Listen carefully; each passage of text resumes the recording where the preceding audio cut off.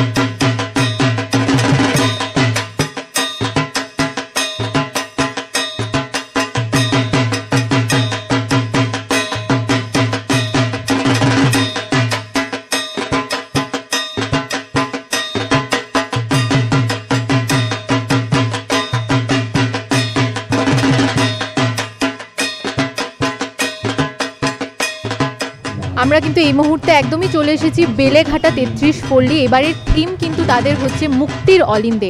আপনারা দেখতে পাচ্ছেন যে অনেক পুরস্কারে কিন্তু তারা আজ পুরস্কৃত হয়েছেন এবং মায়ের সেই প্রতিমাও কিন্তু আপনারা দেখতে পাচ্ছেন।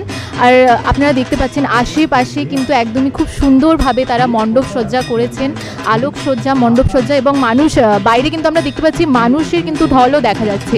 একটুখানি তারা যে পুজোর যে আয়োজন করেছে সেই ব্যাপারে একটুখানি জেনে নেব। আমাদের এই বছরের থিম হচ্ছে মুক্তির অলেন্দে শিবশঙ্কর দাসের হাত দিয়ে পুরো মণ্ডপ সজ্জিত হয়েছে প্রতিমা শিল্পী উনি এবং টোটাল পরিকল্পনাটাও ওনার। আমরা গত দেড় দু বছর ধরে যে প্যান্ডামিক সিচুয়েশনের মধ্যে দিয়ে যেই যেই জিনিসগুলো নিয়ে আমরা চলছি, যেগুলোর মধ্যে আমরা আবদ্ধ ছিলাম, এর থেকে আমরা মুক্তি চাইছি। আমাদের ছেলেমেয়েরা স্কুল থেকে, স্কুল নেই কলেজ স্কুল বন্ধ। তারা এখন ল্যাপটপ আর মোবাইলেই পড়াশোনা করছে। বইয়ের র্যাকগুলোতে বইগুলো যেন একদম কংক্রিট হয়ে গেছে। তাই ইট দিয়ে আমরা এখানে বই দেখিয়েছি। বইয়ের র্যাকগুলোতে রাস্ট পড়ে গেছে। আমাদের গচ্ছিত যে সম্পত্তি ছিল আর কি সঞ্চয়, যেটা অল্প অল্প করে মধ্যবিত্তরা জমায়, সেই গচ্ছিত সম্পত্তিটাও দেড় দু বছরে খালি হয়ে তাই আলমারিগুলোকে এখানে উন্মুক্ত অবস্থায় রাখা হয়েছে। এখানে দুটো বাড়িতে কাগজ দিয়ে মুড়ে দেওয়া হয়েছে, মোড়ক। এই যে মানুষের যে মোড়ক, এই যে মোড়ক থেকে আমরা বেরোতে চাইছি প্যান্ডামিকের যে মোড়ক কোভিডের যে মোড়ক, এখান থেকে বেরোতে এরই সিগনিফিকেশন হিসেবে আমরা এই বাড়ি দুটোকে পেপার দিয়ে মুড়েছি। কোনো প্রিয়জন মারা গেলে তাকে পুরো মুড়ে শ্মশানে নিয়ে যাচ্ছে, যাওয়া হচ্ছে, কিন্তু তার শেষ মুখটাও আমরা দেখতে পাচ্ছি না, তাকে পুরো প্যাকিং করে নিয়ে যাওয়া হচ্ছে। আমরা কোনো ডাক্তারের কাছে গেলেও সেই ডাক্তারও নিজেকে পুরো পিপি ড্রেসে আবদ্ধ রেখে আমাদের সঙ্গে কথা বলছে এই পৃথিবী আমরা চাই না। আমরা চাই নর্মাল পৃথিবী হোক, আমাদের স্কুল, কলেজ বাচ্চাদের খুলুক, আমরা আবার কর্মসংস্থানে যাই, আমরা আবার নর্মাল লাইফে ফিরে আসি। এটা করতে কিন্তু একমাত্র দশভূজাই পারে, তাই দেবী দশভূজার কাছে আমাদের একান্ত প্রার্থনা, সে যেন আমাদের সেই নর্মাল লাইফে ফিরিয়ে নিয়ে যেতে পারে। তার জন্যই আমরা এটাকে তুলে ধরেছি।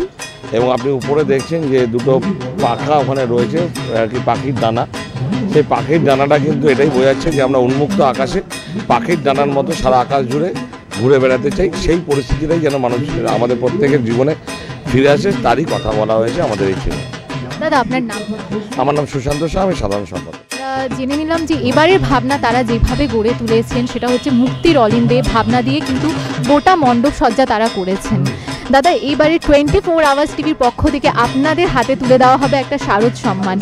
সেই শারদ সম্মান পেয়ে আপনাদের কেমন লাগে দেখুন আমাদের ইতিমধ্যে প্রচুর শারদ- শারদ সম্মানে আমরা ভূষিত হয়েছি। কিন্তু আমাদের কাছে প্রতি কটা শারদ সম্মান হচ্ছে এক একটা পালক। যতগুলো পালক আমাদের জুড়বে, তত আমাদের সামনের বছরে নতুন কিছু করার বা নতুন কিছু মানুষকে উপহার দেওয়ার জন্য যে উদ্যমতাটা বাড়বে, আর কি অ্যাকচুয়ালি আমাদের ক্লাবের প্রতি প্রতি কটা সদস্য একটা ইন্সপায়ার হয়। এই ইন্সপায়ারটা আমাদের খুব দরকার কেন সারা বছর আমরা অপেক্ষা করে থাকি এই পাঁচটা দিনের জন্য। এবং শুধু আমরা অপেক্ষা করে থাকি না, যে যেসব ঘর বাঁধা থেকে আরম্ভ করে বিসর্জন অব্দি এই একটা একটা শিল্প এই শিল্পটাকে বাঁচিয়ে রাখতে হবে।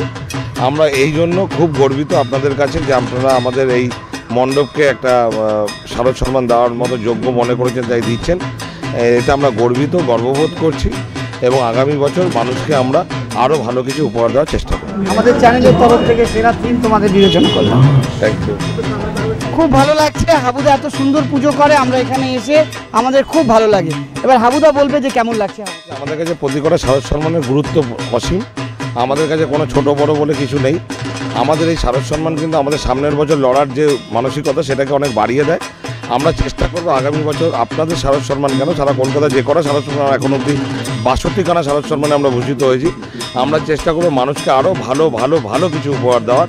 এবং আমি ভগবানের কাছে একটাই প্রার্থনা এবং থিমের নামও আমাদের মুক্তির অলিন্দ যে পৃথিবী শুদ্ধ আমরা যেন কোভিড মুক্ত হতে পারি এবং আগামী বছর যেন মানুষ মণ্ডপে ঢুকে মণ্ডপ দর্শন করতে পারে এই আশা রাখি। এবং আপনাদের সকলকে আমাদের ক্লাবের পক্ষ থেকে শুভ নবমী শুভ শারদীয় প্রীতি শুভেচ্ছা অভিনন্দন। না পায়ে হেঁটে না ঘুরে ঘুরে পুজো এবার টোয়েন্টি ফোর আওয়ার্স টিভি জুড়ে। দেখুন শারদ সফর দু হাজার একুশ শুধুমাত্র টোয়েন্টি ফোর আওয়ার্স টিভির পর্দায় সবার পাশে সব সময় जयं देहि यशो देहि दिशो जय